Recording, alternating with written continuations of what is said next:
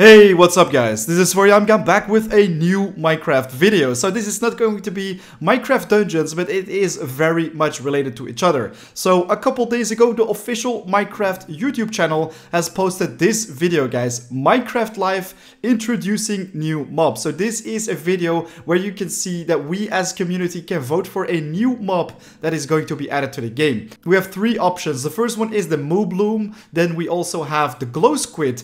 But then guys, last but not least, we also have the option to choose the Iceologer, and I think this is definitely hands down the best option to go for. The cow and the squid don't look very special, but this one is actually a new hostile mob that could be added to the regular Minecraft. This Iceologer is pretty much the Chillager in Minecraft Dungeons, and the cool thing about it is, it is so unique in comparison with all the other mobs which you can find in Minecraft right now. So guys, let's listen to the vote video for a second, which was posted on the official YouTube account.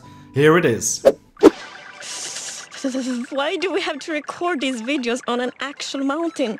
They are animated. The Iceologer is a new illager that lives on mountain tops. It's a hostile mob that attacks you with clouds of flying ice.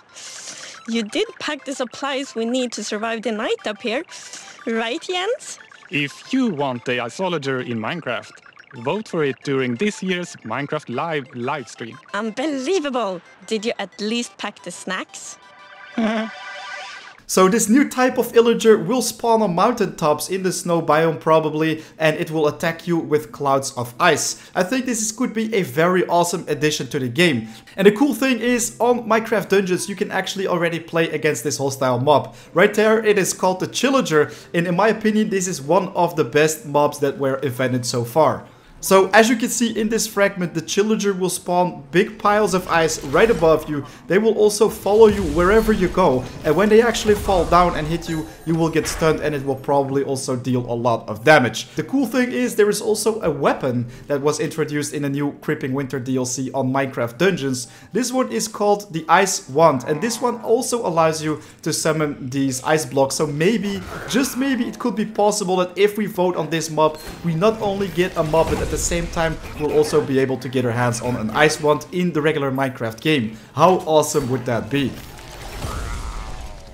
I think the Moobloom and the Glow Squid won't be that much of a huge addition to the game. For example, we already have mushrooms, and I think the Mooblooms will act exactly the same, but they will just have flowers on their backs instead of mushrooms.